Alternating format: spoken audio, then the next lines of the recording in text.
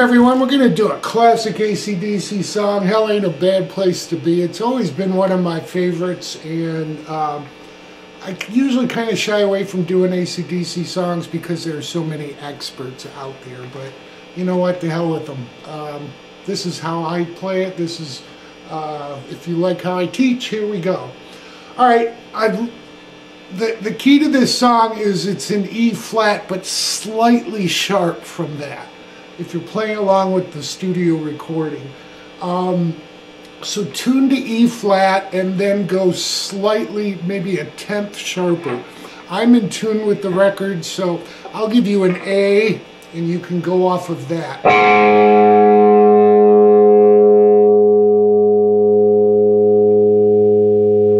Okay, so that's the catch of the song. It's just slightly sharp of E flat tuning. All right, so I've written it out. My notes will be available below. We'll go over this. Okay, the song starts out with a power chord G. So on the first and second, put your uh, small finger and ring finger. Place your middle finger up on the G note on the sixth string and mute the fifth. Then we go to the, I call it the ACDC chord. It's an F sharp over D. Now I notice Malcolm plays this, he uses his thumb. I can't quite get my thumb over. I don't know, it's something with the joint, whatever. It just doesn't work for me. So what I do is switch my middle finger down onto the third string, second fret, and bring my first finger up to the F sharp and play through the second string. So we have this.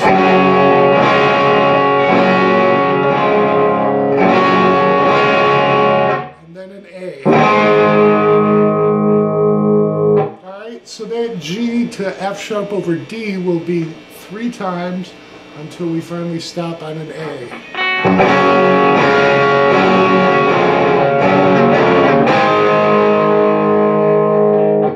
Alright, we'll do that measure, that full measure there to the A four times in the intro. Then we're into the verse. Now I'll talk about both guitars, what they're doing here, Malcolm and Angus, and how they play this. So Angus part has a little string dampener between each one, so a muted fifth string. So we're going to be on the fourth string for this. We'll go five to four. All right, we're going to do that twice, and then five, four real quick. So it'll sound like this.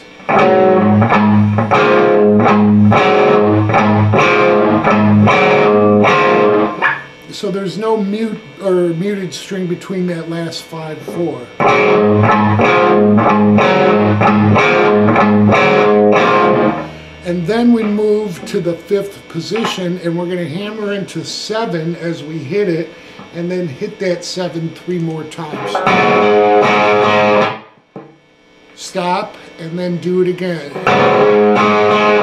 Then back to our fives and fours.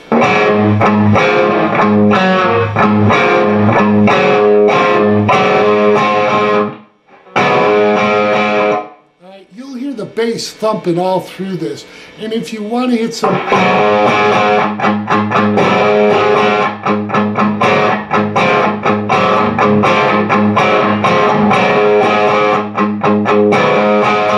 Angus really doesn't do that, but it helps with the timing and it's kind of fun to do that way. All right. So with that said, there are, let's see, one, two, three, four in the pre-chorus measure of those. And then we get into the verse and we'll do eight of them. All right. Once we get to the eighth one in the verse, all he does is hold down the seven. All right, so it'll sound like this. Let me take it from the four and five.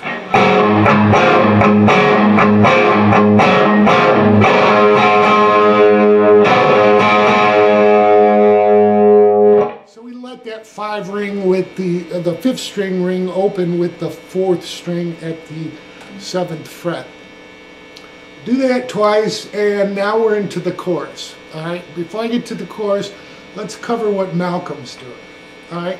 So for this, what Malcolm is doing is hitting these notes basically open fifth string. Me tune down because he doesn't play that distorted. So just turn my guitar volume down and we got... And then he hits an A four times. Four more, and then we're back.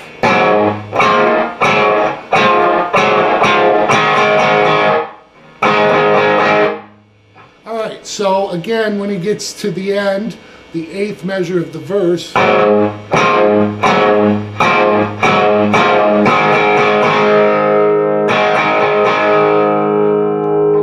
A is held. So that's the difference between the two. If you've got two guitars, you can um, mix it up if you like. All right, we'll cover the chorus next, which they both play the same way. First half measure of the chorus, we're going to do D to G. The second D to G back to D is a little different. You'll see the difference here as I play it.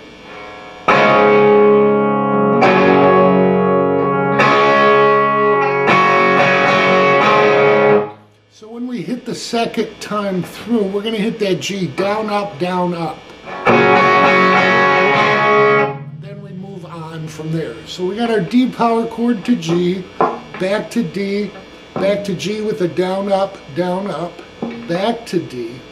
So we'll go through that one more time, all right?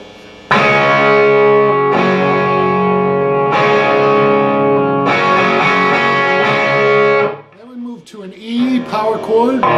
You can actually play, I hear that G note, so if you want to play through the third string, that's fine. Then to A, back to E, and then end on G. That G's a power chord, all right? So we have, um, let's just go through the whole thing. Now, one, two, three, four.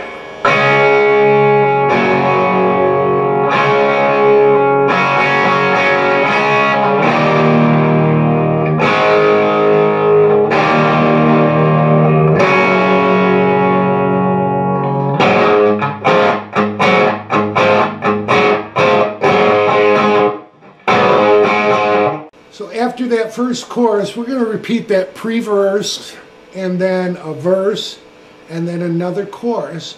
And then we're going to go into the solo. I'll show you the solo rhythm before we go over the solo.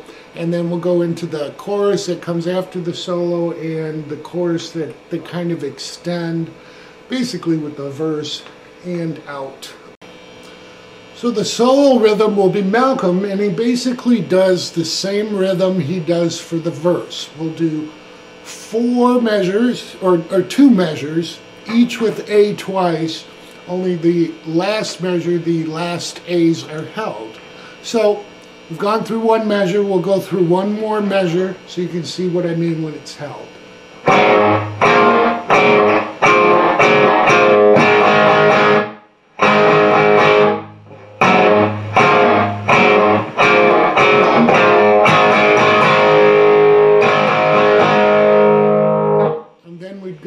Into the chorus that's taking us out of the song. All right. So the chorus taking us out is exactly what we've learned.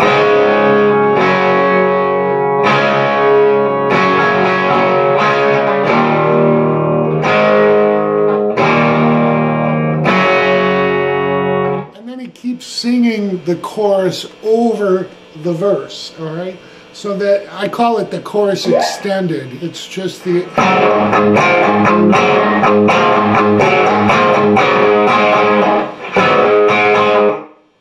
So he ends with that chorus out, as I'm calling it. It's going to be one measure two times through, all right? One, that's a half measure, and then again through it, and...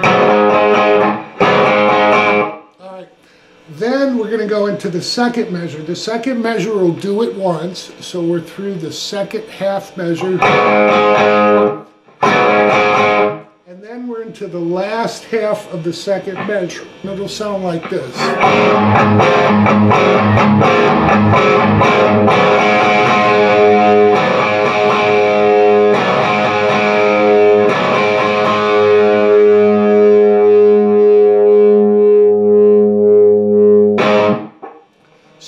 Basically we're hitting the seven, five to seven.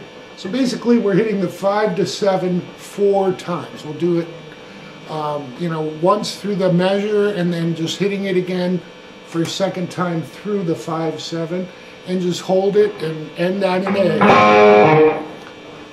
So that's really the outro extended chorus after the chorus, after the solo rhythm.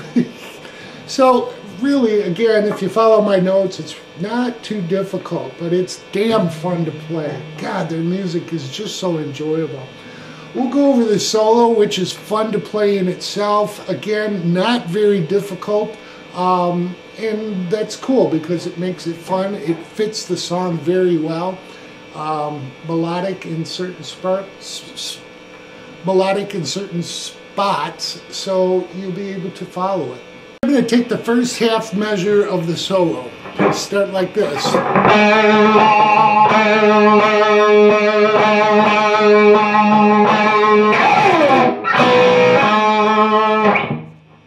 Alright, so basically what we're doing is going to be hitting the 4th string, 7th fret. Give that some vibrato, maybe a little pick harmonics, just, just kind of close down on your pick a little bit, hit that with some vibrato, seven, uh, I'm sorry, uh, four, eight, ten times.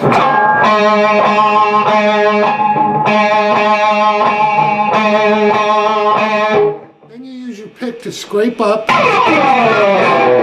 Okay, and then you're going to go to the fifth fret of the third and second string back to the fourth string at seven. There's a little vibrato there. He leaves a little bit of room. All right, now we're going to do this. It's the second half measure.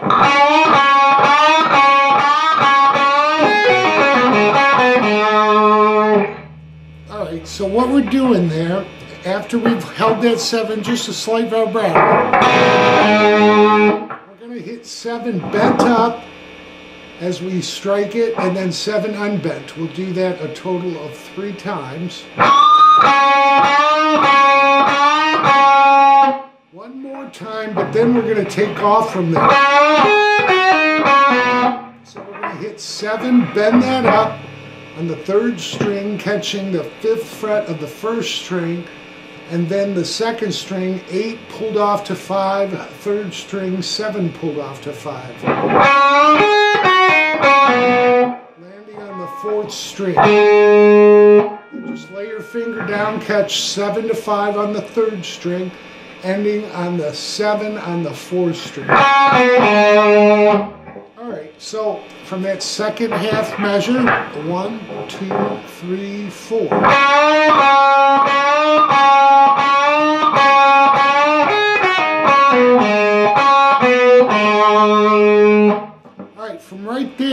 Go quickly to an 8. We're going to do this. Alright, I'm just going to leave it there because the next part you'll really recognize. So we're hitting 8, bending it up, striking it four more times, and then the fifth time releasing it. The next part of it will go like this.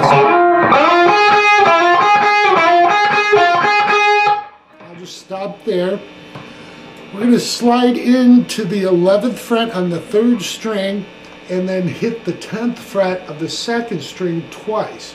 We'll do the slide in the 10s three times. The fourth time is just, it's not slid, the timing's just slightly different. He goes right to it and then two tens. So watch what I do. One, two, three, four.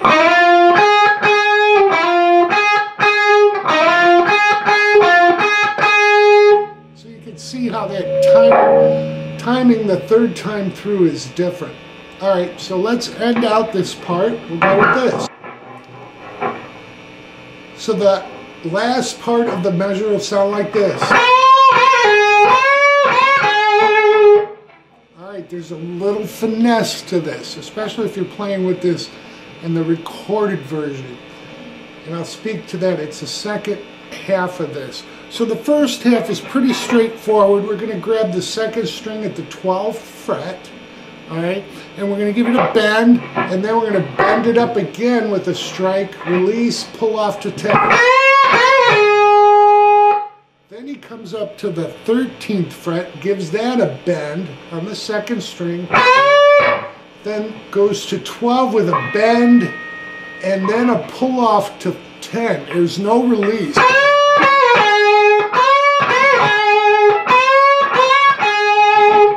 So it's a real subtle blues move that you'll notice.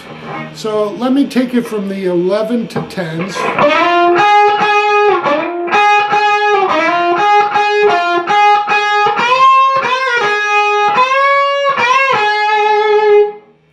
So again, that's a little nuance to the song, but I really, I love that feel and put that in your pocket for when you're playing blues. Sound better than, okay, so there you go. Now we're on to the third measure. I'll play through the half measure so you can see what it'll sound like.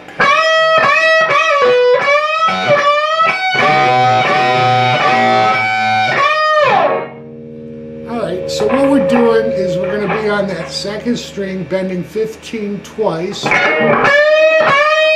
Then a 15 bend and release to 13. Then we come back to 15, bend that up, catch 15 on the first string.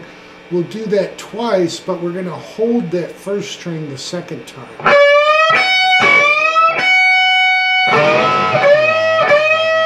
So it's almost like we're hitting them together the second time with 15 on the second, twice more. Another 15 bent up, catching 15 unbent on the first string. And then we release the 15 bend. All right, so all together slowly. One, two, three, four.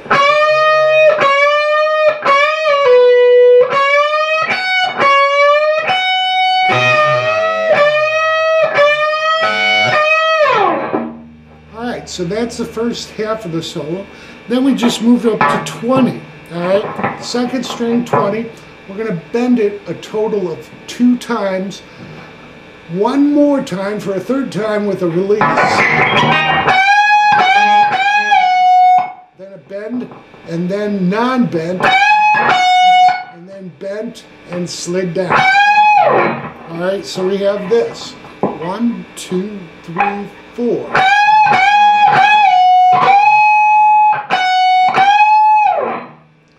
So that should show you. Okay, for the last half of the measure, we're going to come up to 20. We're going to hit that three times. The third time, each time will be bent. The third time will be released. We're going to bend it again and then hit it unbent. And then bend it one more time and slide down. Alright, so we have this slowly. One, two, three, four.